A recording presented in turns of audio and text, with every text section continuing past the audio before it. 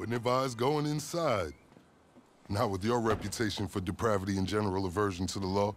In all seriousness, your countenance is quite discernible, and there are certain of my consociates who would take it upon themselves to exercise their right to lethal force were they to encounter you in person.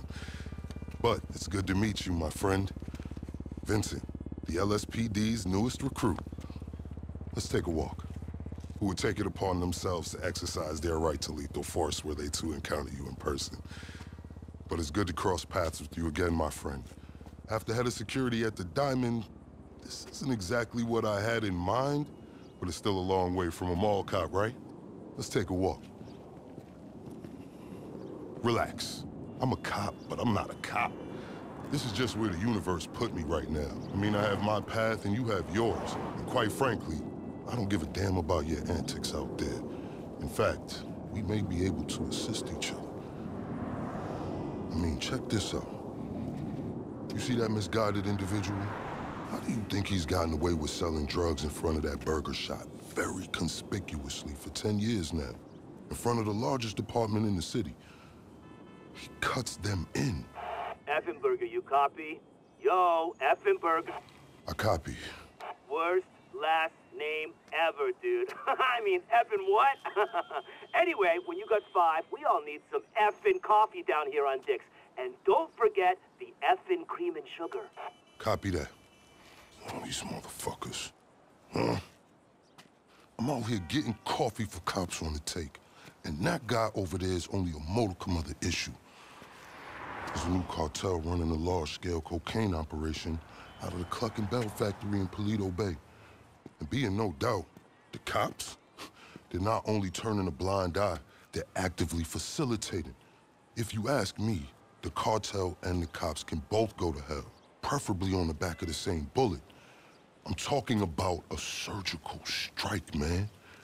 Taking out the whole operation. That's why I came to you.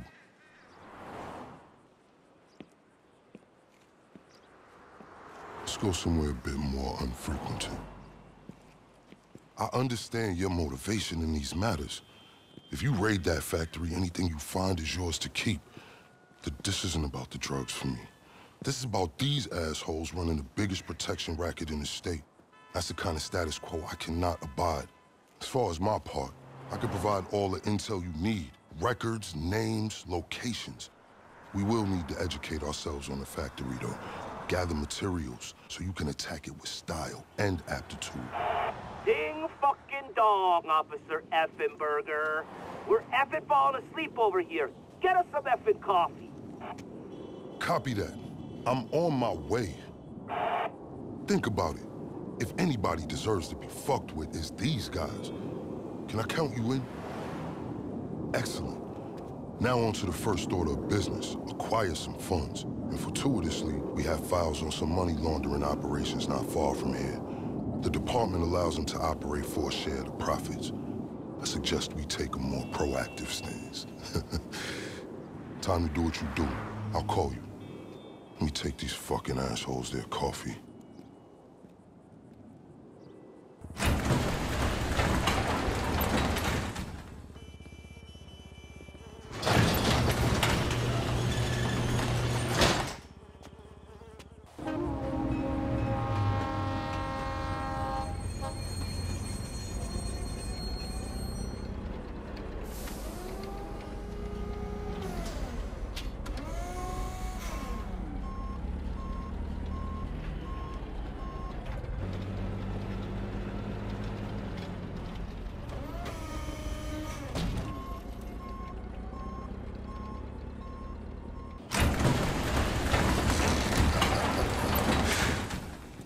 Excellent work. Mission accomplished.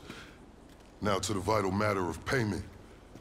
As I'm sure you can appreciate, there are certain transactions I can't be party to as an officer of the law. But if I've learned anything from my consociates on the LSPD, it's how to look the other way.